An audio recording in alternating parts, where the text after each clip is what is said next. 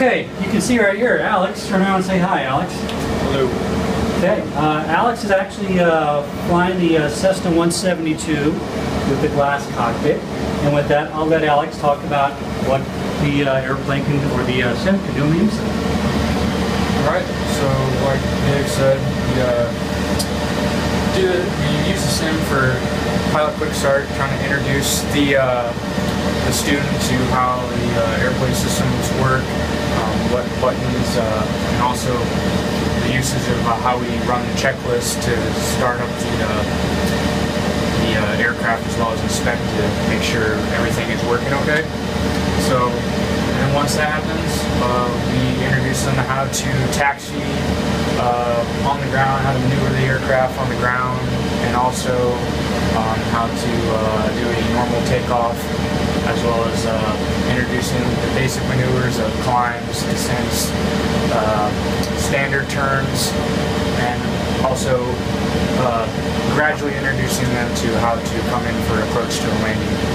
Um, and also, like Dave said as well, we use this for instrument training as well.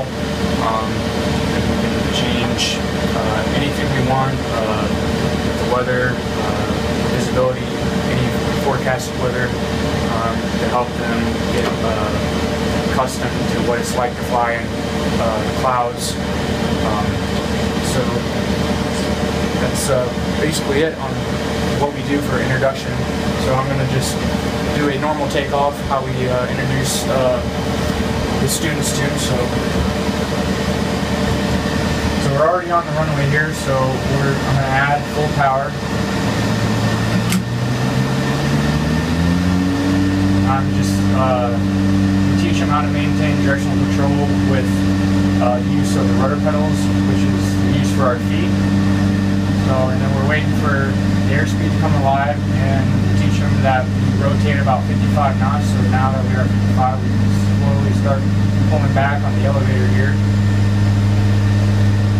Oh, and then we also teach them how to maintain directional control as we're climbing out to maintain center line with the runway.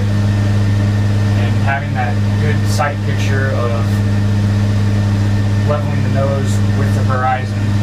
Um, and we climb out to about 75, 80 knots on climb out. And we basically just give them uh, step-by-step instructions of um, how to do a normal climb out.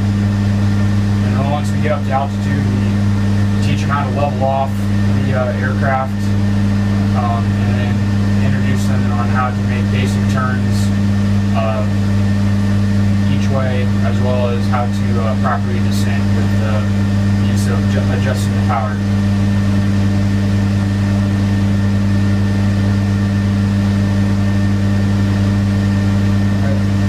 So I'll just level off here at 2,000 feet. And at this point, we teach them how to, uh, how to become level with, uh, with the airplane, having that side picture of looking out in the horizon. Um, and then once uh, we introduce them to that, we start uh, teaching them how to properly do a coordinated turn. So I'll just do a turn to the left.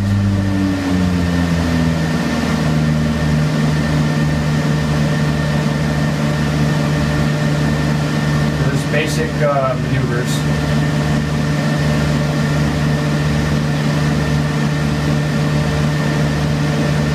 using uh, coordination with the use of uh, ailerons and rudder.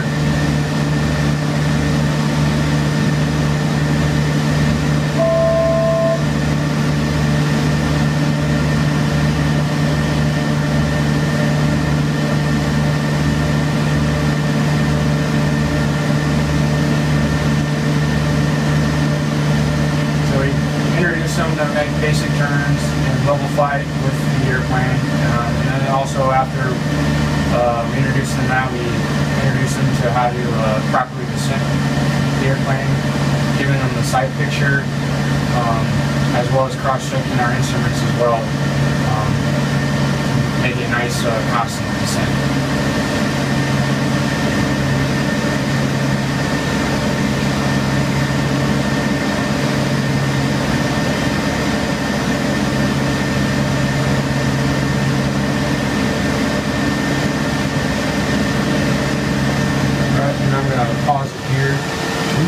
That's basically what uh, we do for uh, the uh, pilot quick start.